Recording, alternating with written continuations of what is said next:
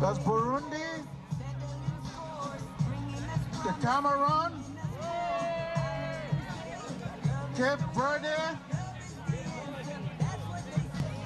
Equatorial Guinea, Eritrea, Ethiopia,